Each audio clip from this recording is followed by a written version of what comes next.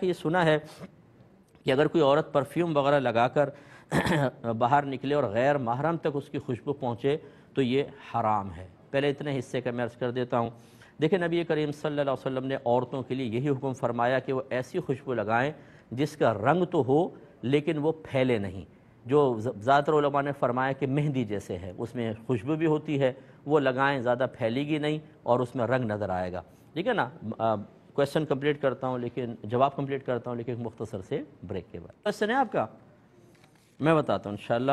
تو آپ کی خدمت میں گزارش کیا کی تھی کہ یہ حدیث میں ہے، نبی کریم صلی اللہ علیہ وسلم نے عورتوں کو ایسی خوشبو لگانے سے منع فرمایا کہ جو پھیلے اور نامحرم مردوں تک پہنچے۔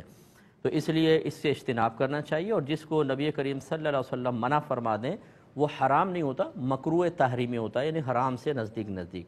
جو قرآن کی ایسی آیت سے حرام ہونا ثابت ہو، جس آیت میں، اس کی وضاحت میں کسی مشتحد کو، کسی مفسر کو کوئی کلام کرنے کی حاجت ہی نہ ہو، بہت واضح ہو، اسے نص قطعی کہتے ہیں اور اس سے جو حرمت ثابت ہوتی ہے، اس کو حرمت قطعیہ کہتے ہیں، ٹھیک ہے؟ تو یعنی حرام ثابت ہوتا ہے، سمجھ لیں۔ اور حدیث سے اگر کسی چیز کی ممانعت ثابت ہو، تو اس کو مکروع تحریمی کہتے ہیں۔ یعنی اس میں بھی کنڈیشنز ہیں، بعض اوقات تو صرف خلاف مستحب بھی ثابت ہوتا ہے لیکن اگر سختی سے منع کیا ہے اور دیگر کوئی ایسی علامت نہیں ہے کہ وہاں پر مکروع تحریمی کے علاوہ کوئی اور چیز ثابت ہوتی ہو، تو مکروع تحریمی ہی ثابت ہوگا۔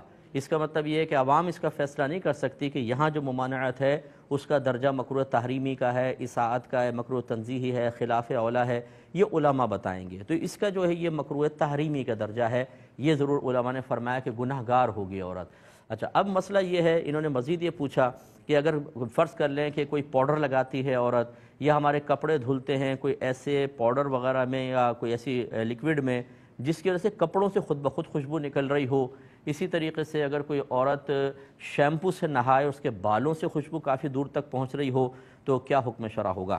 دیکھیں یہاں پہ بھی وہی حکم شرع ہے کہ حتی الامکان کوشش کریں کہ ایسی چیزیں یوز کریں کہ دوسروں تک اسمیل نہ پہنچے۔ اس کی وجہ غالباً اور اکثر علماء نے یہی لکھی ہے کہ جب خوشبو مرد تک پہنچتی ہے تو اس کی توجہ ہماری طرف آئے گی۔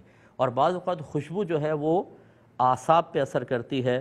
اور اٹریکشن پیدا ہوتی ہے اور اس کی وجہ سے برے خیالات بھی ذہن میں آ سکتے ہیں۔ اس لیے شریعت نہیں چاہتی کہ عورت کی جانب سے کوئی ایسی چیز مرد تک پہنچے کہ اس کی توجہ، دھیان اس کی طرف آئے یا خدا نخواستہ کوئی خراب قسم کا خیال اس کے ذہن میں آئے۔ اس لیے ہماری بہنوں کو احتیاط کرنی چاہیے۔ اچھا اب اگر یوں ہو کہ کوئی بہن گھر میں ایسی خوشبو لگاتی ہے گھر کے والوں کے سامنے یا شوہر کے سامنے، کوئی حرج نہیں ہے کیونکہ نامحرم نہیں۔ دوسرا یہ کہ اگر وہ گھر سے نکلتی ہے، فوراً گاڑی میں بیٹھتی ہے، فرض کر لیں اور کسی شادی ہال تک پہنچی اور وہاں عورتیں علیحدہ ہیں۔ تو اب اس کو لگا کر نکلنے میں مسئلہ نہیں ہے، کیونکہ آپ کوئی نامحرم تک خوشبو نہیں پہنچ رہی، شوہر کے ساتھ ہیں، فرض کر لیں۔ تو یعنی مطلقاً ایسی خوشبو لگانا جو دور تک پہنچے، منع نہیں ہے، یہ اسی وقت ہے کہ جب نامحرم تک پہنچنے کا اندیشہ ہو۔ تو اس لیے بہنیں تھوڑی سی احتیاط کے ساتھ لگائیں۔ باقی مستثنا صورتیں اس کی بہت ساری ہو سکتی ہیں۔ بعض اوقات کچھ ایسی ریکوائرمنٹ کوئی بہنیں جاب وغیرہ کرتی ہیں، وہاں کی کچھ ایسی ریکوائرمنٹ ہو سکتی ہیں کہ جس میں اس کا استثناء ہو جائے۔ تو وہ خاص کنڈیشن جب کوئی آئے گی تو انشاءاللہ اس کا جواب دے دیں گے۔ لیکن مطلقاً جو ہماری بہنوں کے لیے حکم شرع ہے، وہ یہی ہے جو آپ کی خدمت میں ذکر کیا ہے۔